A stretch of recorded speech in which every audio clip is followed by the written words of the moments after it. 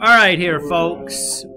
So at this point, we've talked all about solving of polynomials. This is a process that ideally we should be fairly comfortable with and be able to do like the various steps of the solving problem and use the various little theorems and tools to kind of figure out things about what it is that we're trying to do. Um, we'll probably do a little bit, one more day of kind of practice on that next week, but that's really all I have budgeted for this. Um, there is one other topic, though, in this chapter that I want to talk about.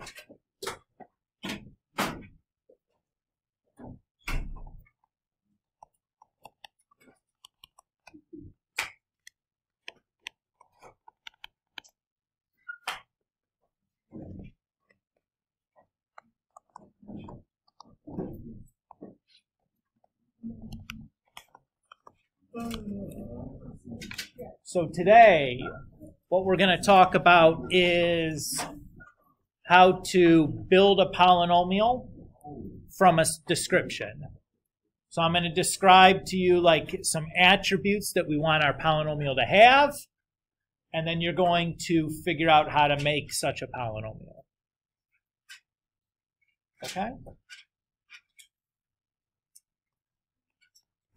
So for example, maybe we want a polynomial with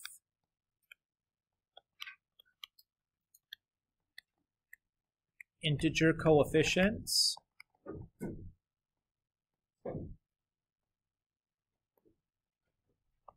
Um, and let's say the zeros of negative 2, negative 2, negative 2, and 1 plus the square root 2. And then let's say we want minimum degree.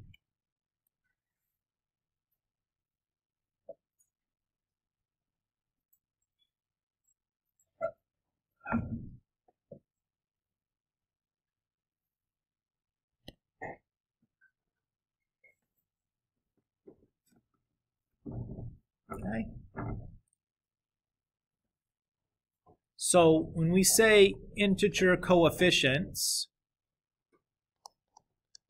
the polynomial that we're going to make has to obey the irrational conjugates theorem and complex conjugates theorem.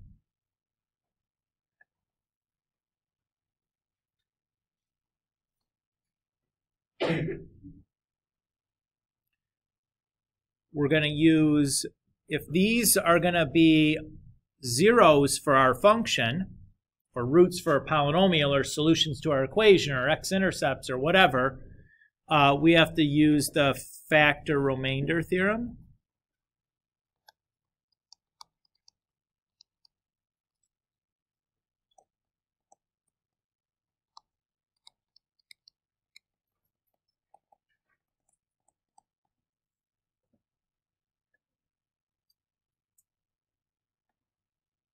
What's your question?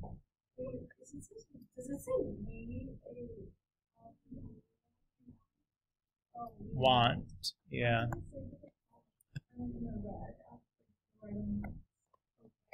Obey. Okay. Sorry about my penmanship. It's okay. No, it's okay. Okay.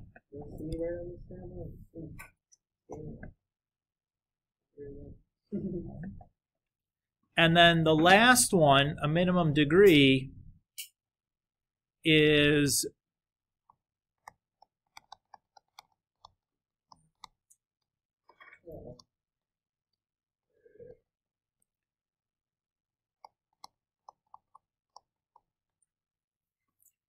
I just don't want to include any extra factors that I didn't need to make sure I met the first two criteria.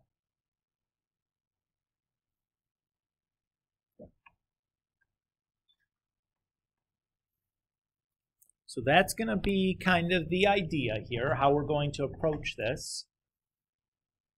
So I'm always going to start here with my list of zeros.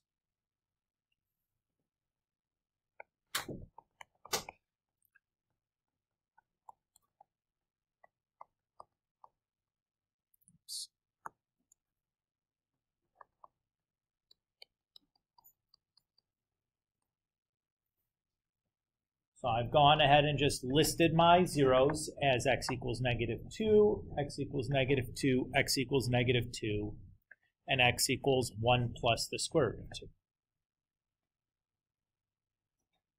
of 2. Grace? Factors? Irrational conjugates theorem? Complex conjugates theorem. And we'll review what those are and how we're going to use them in a moment when we get to worrying about it. Okay. So I want to be able to turn these x-intercepts or these zeros or these solutions into factors, right? That's what we're trying to do in this second step. So this is really easy. All I'm going to do is, for example, add 2 to both sides to get this equal to 0.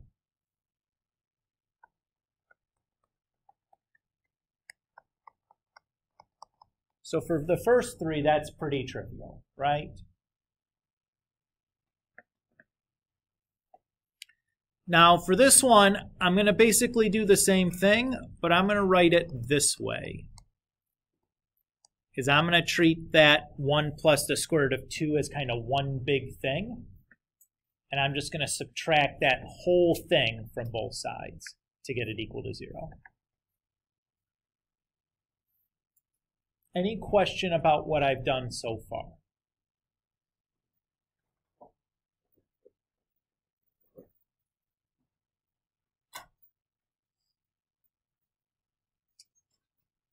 So far, so good? Okay. Now I'm going to take each one of these equations and multiply them together.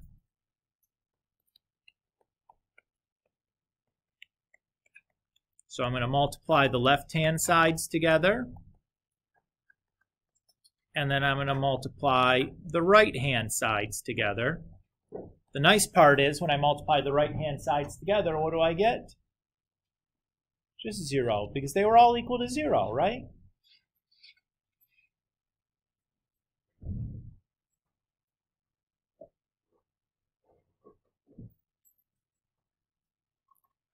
So now we're done with that row. What we have here is a polynomial that if I set it equal to zero, I'm going to get those same solutions that I needed, right? Everybody's okay with that?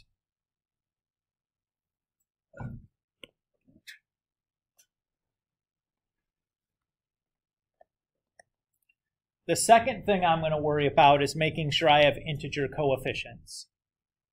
So the only time I have to worry about this is if I have an irrational zero or an imaginary zero given.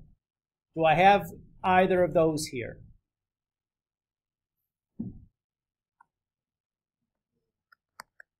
This is irrational.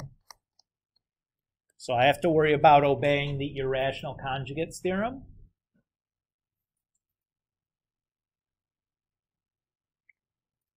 What the irrational conjugates theorem says is if I have a polynomial with integer coefficients, then if I have one integer, or then integer, I'm sorry, let me restart again if I have a polynomial with integer coefficients, then any irrational solutions come in conjugate pairs. So I know that also included on this list needs to be the conjugate to 1 plus the square root of 2. What is the conjugate to 1 plus the square root of 2?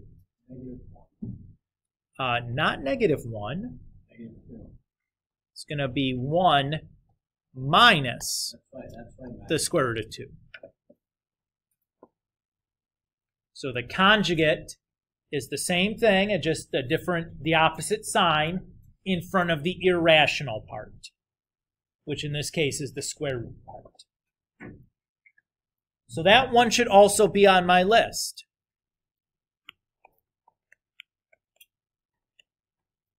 So, just like I did before, I'm going to set that equal to 0. And then I'm going to multiply these two polynomials together.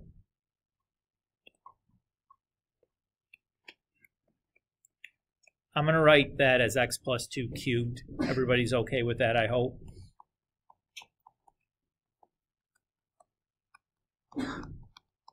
Bless you.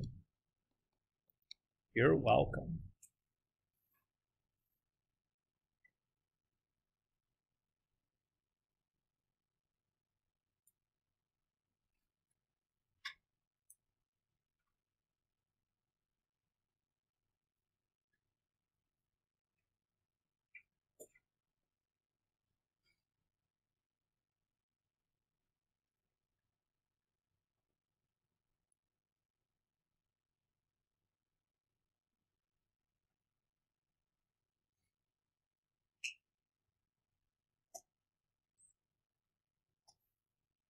So far, so good.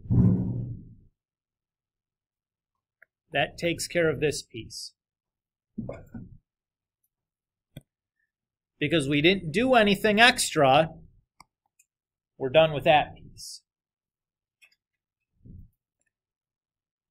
Now, the only thing that I would require you guys still to do is to multiply some of these factors out so that we have only integer coefficients in our fact. So the only factors that don't have integer coefficients are these ones, right? Yes, Grace? We didn't write it twice. Those are two different things. Mm-hmm.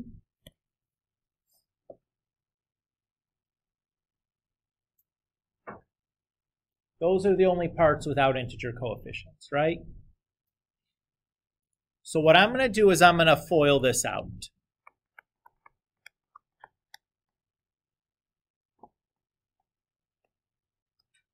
So x times x is x squared.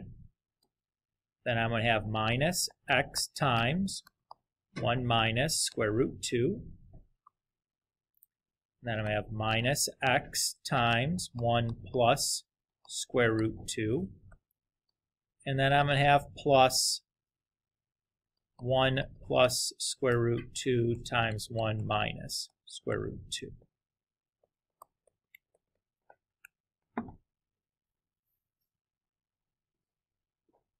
So all I did was FOIL that out.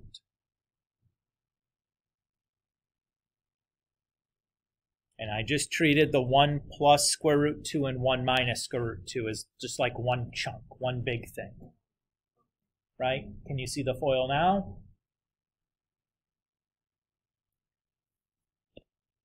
And the reason I did that is to avoid having to draw a grid. Where ordinarily, if I have three things in my polynomial, I would draw a grid. But this ends up being a rather convenient way of thinking about things.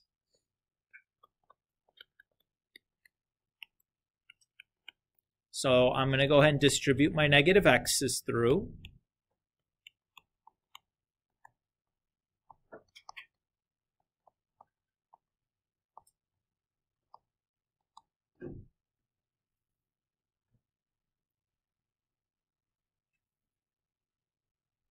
And then I have to worry about this.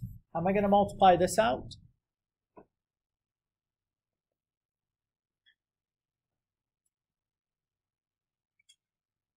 So I still have that last term to deal with, right? How am I going to multiply 1 plus square root of 2 times 1 minus square root of 2?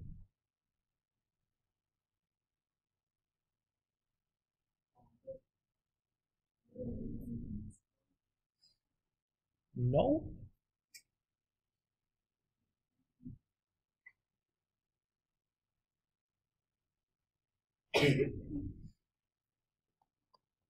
So you would FOIL that piece out, right? But look carefully at that multiplication problem, because this is actually going to be a special case of foiling. What does this actually look like? It looks like the difference of two squares, right? Where I have like something plus something, something minus something, right? Or I have something, right? We can see how it's kind of like a difference of two squares there. So I'm going to use that because it makes the multiplication a little bit easier. Because I don't have to FOIL with it.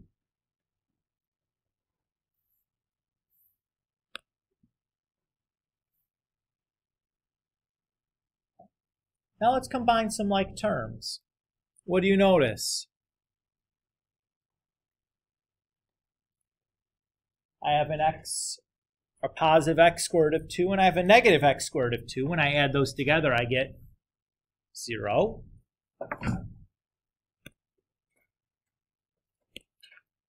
Um, 1 squared is just 1.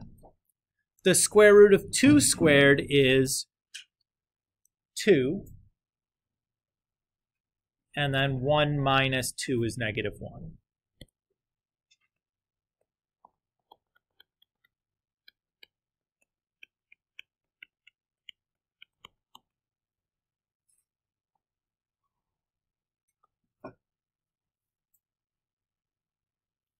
So when I combine negative x and negative x, I get negative 2x, and then I have my negative 1.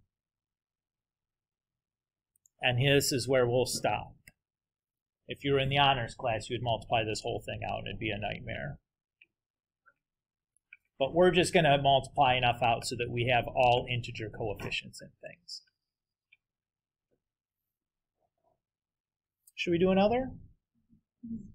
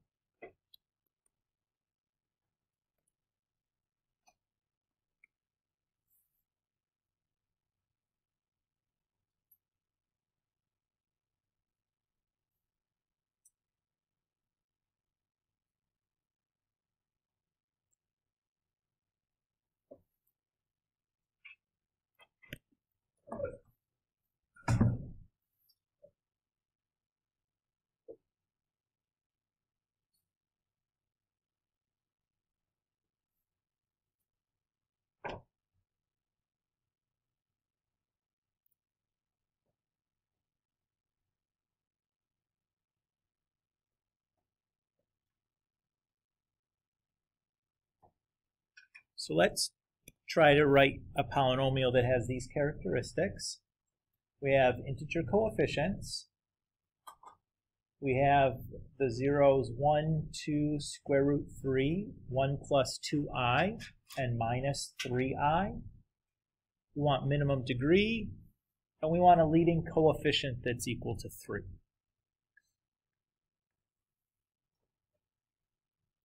Okay. So just like before, we're going to start here.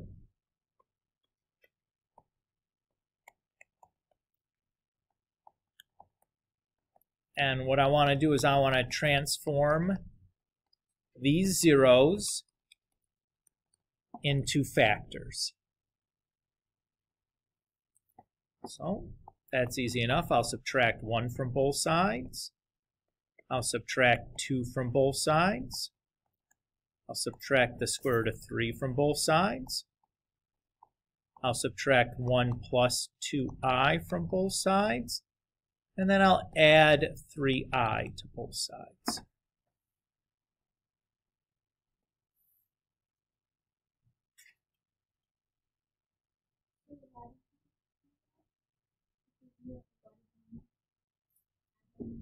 All I'm doing is I'm taking these solutions and turning them into factors. So that's what we're doing by getting them back equal to zero. So then we can multiply each of these equations together and we'll be left with a polynomial that has those solutions. Is that okay with that, Elena? So next thing, let's worry about this so if I want integer coefficients, because this is one of my zeros, what other zero needs to be there?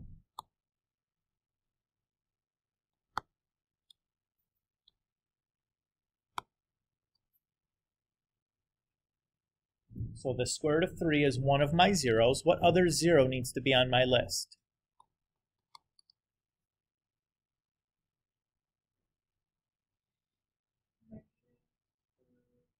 Very good. I need to need its conjugate, which is negative square root 3.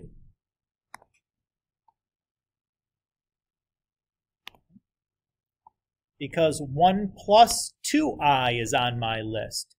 What other 0 needs to be on my list?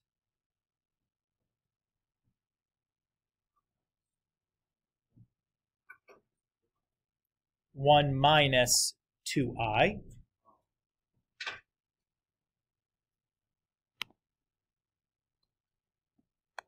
And because negative 3i is on my list, what other 0 needs to be on my list?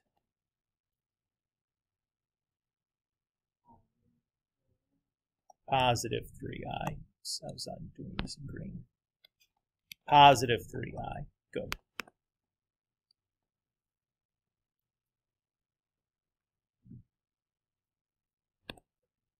So now I'm going to take each of these zeros and convert them into factors. So I'll add square root of 3 from both to both sides. I'll subtract 1 minus 2i from both sides. And then I'll subtract 3i from both sides.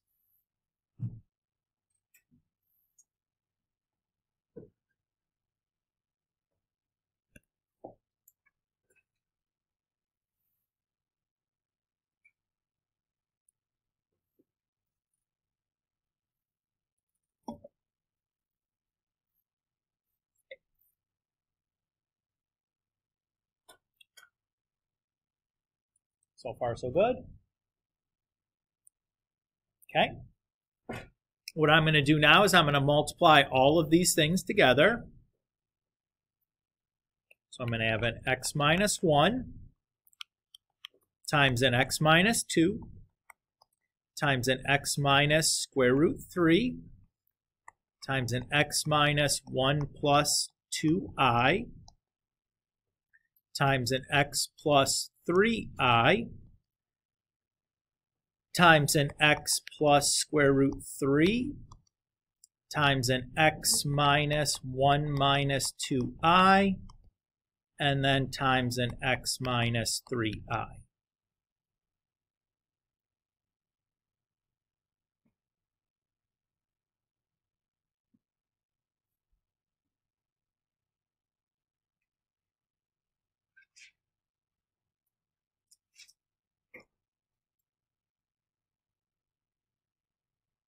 Okay.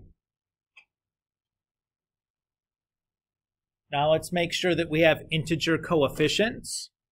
The way we're going to do that is we're going to multiply some of these factors together so that I end up with a polynomial with integer coefficients.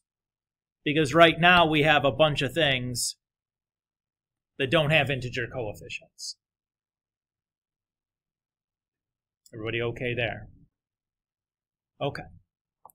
So what should I be multiplying to x minus the square root of 3? Which other factor am I going to multiply with that one?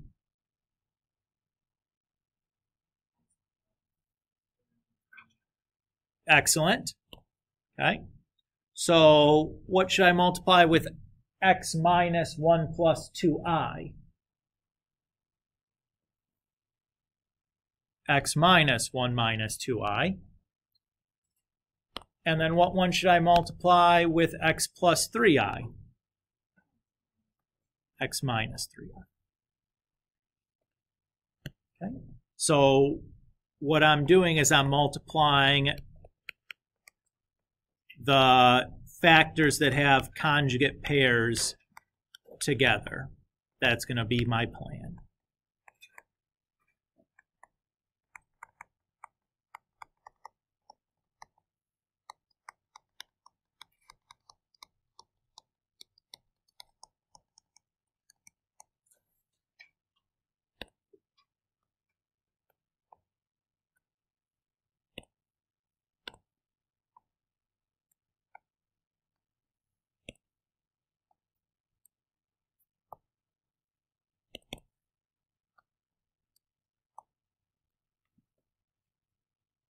So that's the multiplication that I'm about to do. Notice those first two I'm not doing anything to because they still have integer coefficients. They're just along for the ride, the x minus 1, the x minus 2. Nothing's going to happen to those guys. They're just going to stay the way they are.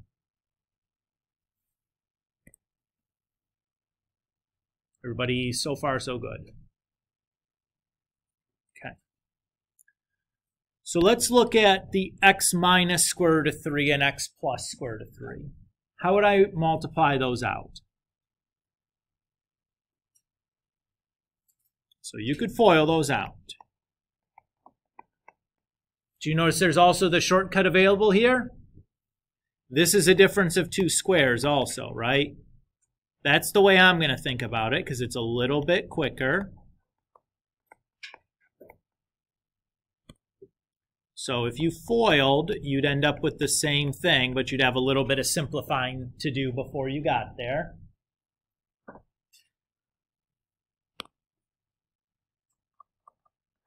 We'll do the same thing here.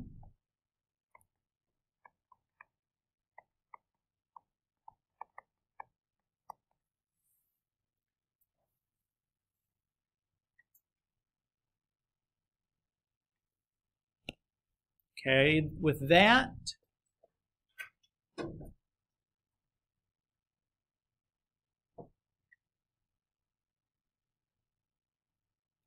And now I'm going to, can I use a difference of two squares on this stuff in the blue? No, not at this stage. Here we actually just have to FOIL. So x times x is x squared. Then I have x times negative 1 minus 2i, right? Negative x, 1 minus 2i. And then I have negative 1 plus 2i times x, so I'll write minus x, 1 plus 2i. And then I have negative 1 plus 2i times negative 1 minus 2i. Two negatives give me a positive. I have 1 plus 2i times 1 minus 2i.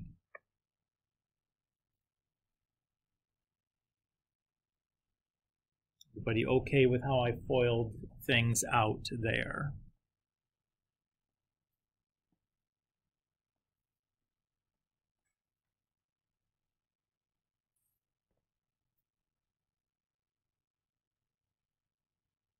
All right.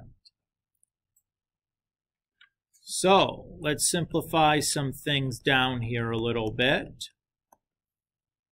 What's the square root of 3 squared give us?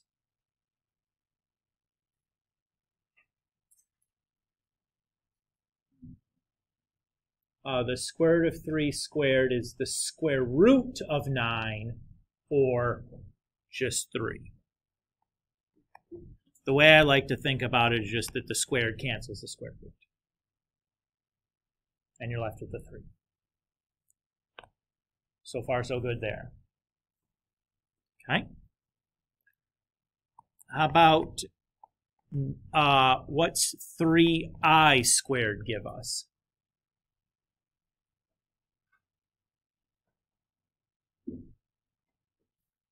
Gives us 9i squared. But remember, what is i squared equal to? Negative 1. So really, what does this simplify down to? x squared plus 9. Good.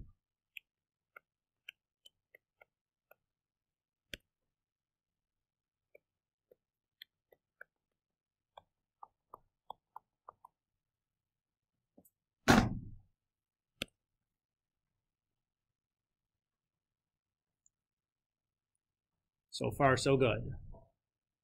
Now we just have this last one here at the end. So I'll start by distributing the x through.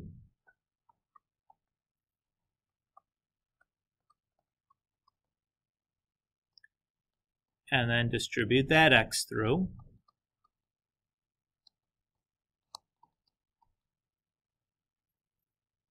And then for this last piece, I'd have to FOIL this, or here is where I can use the difference of two squares again, if you choose to do that. You could FOIL it out also, but I'm going to use the difference of two squares.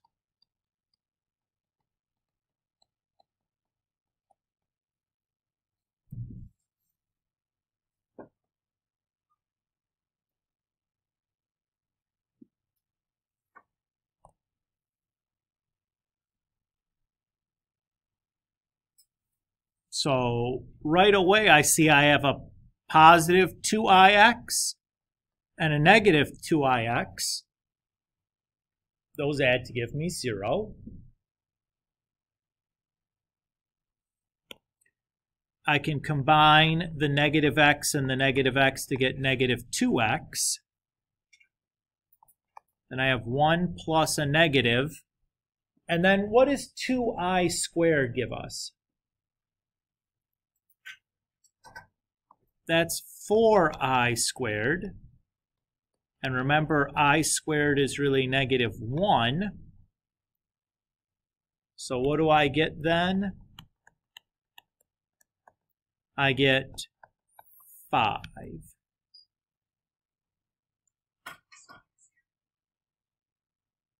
Right? I get 1 minus a negative 4, which is the 5.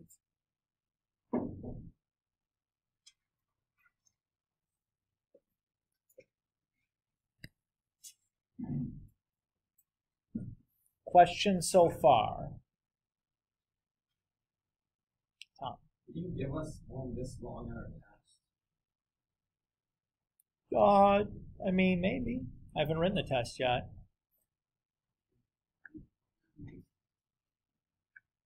Okay. Annalise?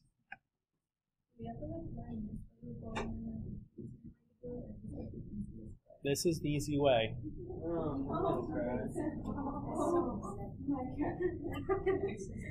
That's so That's like really upsetting. We still have a little bit more, though, for this problem, because it's not oh done. Oh, And we're not even multiplying it, multiplying it out. Yeah. So we still have one more thing to worry about. We want a leading coefficient of 1. What is the leading coefficient going to be for this polynomial? What is, I'm sorry, we want a leading coefficient of 3. We want a leading coefficient of 3. What is the leading coefficient for this polynomial going to be? It's going to be 1. What'd you say? Yep, that's it.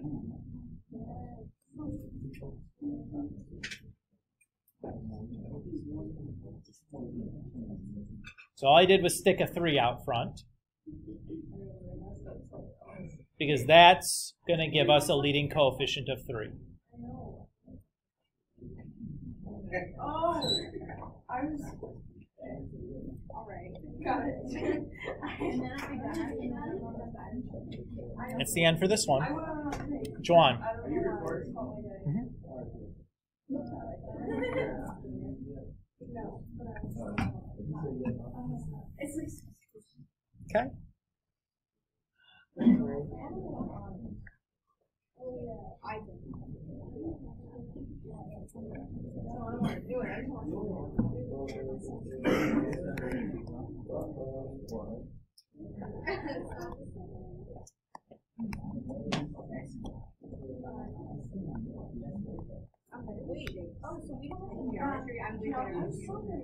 That's it.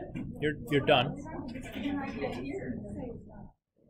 Why would you? Do, what do you mean distribute the three? It's like, we just, yeah, me too. We just don't have that three in front of us. No. Like, in front of the normal and then. Yeah. Okay. I think I have that one. This. Is the only thing for this lesson? Or do you find something? Yep. Like describing it or? We're writing a polynomial from a description. Yep. Of course.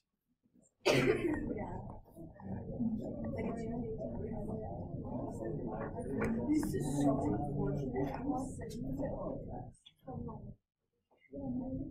Do I have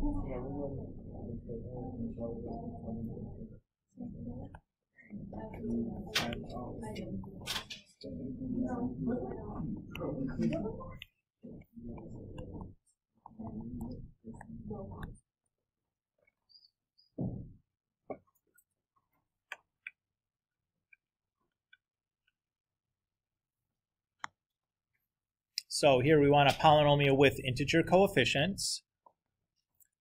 Zeros of 1, 2, negative 3, i, and square root 3. Want a leading coefficient of negative 2 and no constant term.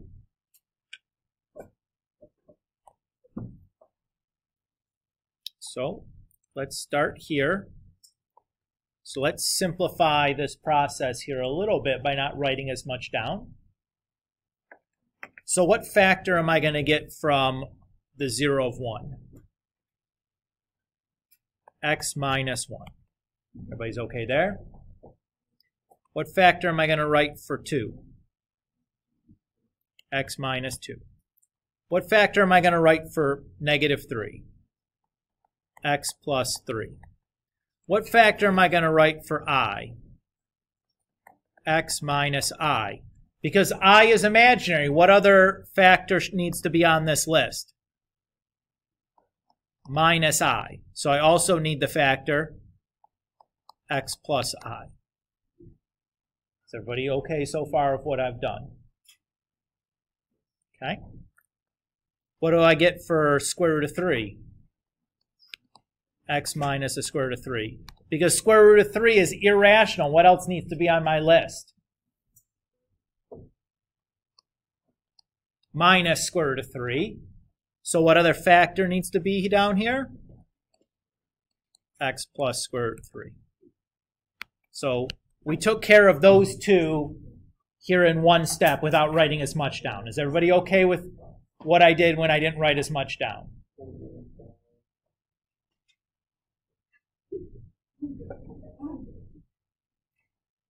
Okay. So I need to multiply my conjugate pairs together. Notice in both of these two cases, I can do this with the difference of two squares.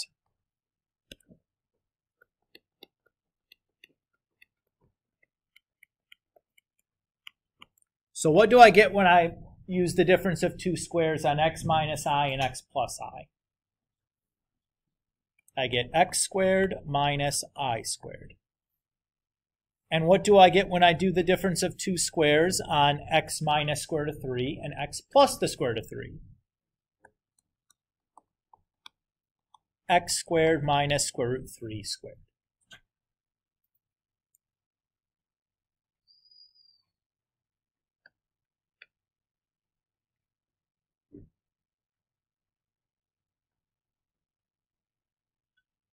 So notice we skipped a bunch of steps here that I'd been writing down